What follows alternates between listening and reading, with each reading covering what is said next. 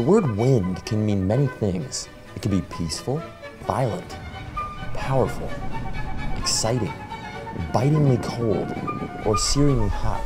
Wind is everywhere all the time, but where exactly does it come from? I mean, it's only air, which we've talked about a little before, but there are no fans or turbines or giant people in the sky blowing the air around, so where does the wind come from? Even when you don't feel the wind, the air is never totally still. If you zoomed way in, you'd see air molecules bouncing around, colliding with each other and everything around them. Now, all that bumping and bashing creates a force. It's the force of all those bouncing air molecules over a given area of Earth that results in pressure. See, air has mass, and gravity drives that air down towards the ground. That's why there's more air pressure down here than there is, say, on top of Mount Everest. The average atmospheric pressure on Earth is about one bar, or 100,000 pascals. But luckily, that pressure isn't pushing straight down. The force goes out in all directions, so we aren't squished into pancakes. Wind is what happens when air moves from high pressure to low. Anyone who's ever watched the weather knows that air pressure isn't the same everywhere, and that's because of temperature.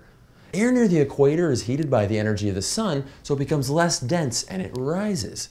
Near the poles, there's not as much heating by the sun, and that cold, dense air sinks down toward the earth. Right along the equator, that creates this area with almost no wind called the doldrums.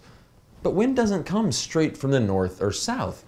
The earth is turning, and because the atmosphere isn't attached to earth, that causes the wind to curl and rotate. That's known as the Coriolis effect. If you want to experience that, just try to play catch on a merry-go-round.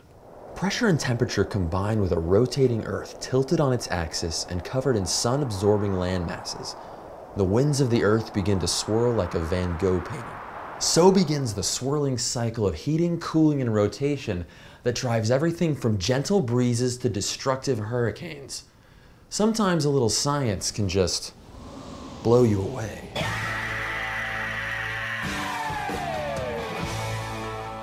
My name is Marie Curie, and I give It's Okay to Be Smart a glowing review. So subscribe. Ooh, I love pinwheels.